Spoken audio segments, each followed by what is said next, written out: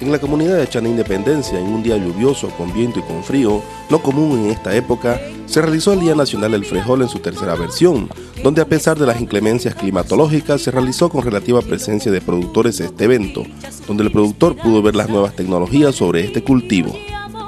Bueno, nosotros este, venimos trabajando con, con frijol, con sésamo y eh, ahora estamos entrando con la soya. También estamos promocionando la producción de chía. Esto hacemos como dando unas nuevas alternativas al, productor, más que todo al pequeño productor, nosotros estamos basados con los pequeños, pequeños productores. ¿no? Y también este, estamos incursionando en la producción de harina integral de soya.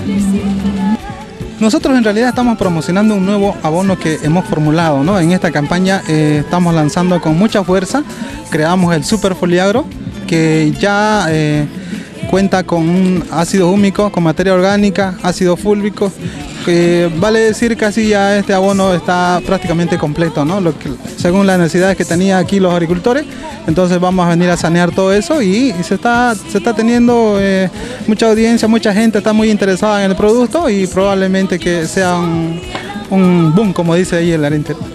Alte Bolivia eh, es una empresa brasilera que también está en Argentina y Paraguay. Eh, nosotros trabajamos en base a la calidad de aplicación, ¿no? Eh, hablamos de tamaño de gota, hablamos de, volúmenes de agua, ¿no? sobre todo en calidad de aplicación. Los coadyuvantes que tenemos nosotros es el U10, que tiene nitrógeno fósforo, que ayuda a la penetración y translocación de los productos. ¿no? En este caso, en el caso de los herbicidas, que es muy importante la, penetración eh, rápida, ¿no?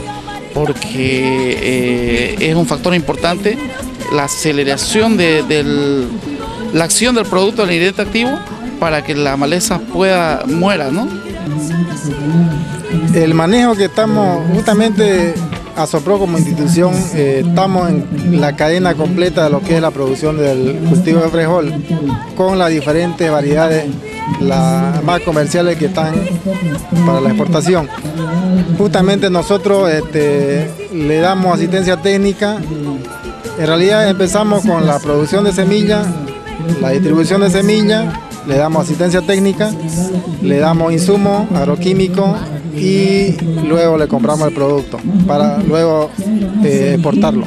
Bueno, en realidad este, el, tiempo, el tiempo estuvo un poquito feo, el frío también nos, nos ha jugado una mala pasada, pero estamos aquí presentes. El INIAF está presente con la intención de promocionar el uso de semillas certificadas. No importa el tiempo, estamos acá y la idea es, bueno, este, darle, darle realce y, estar este, presentes, ¿no?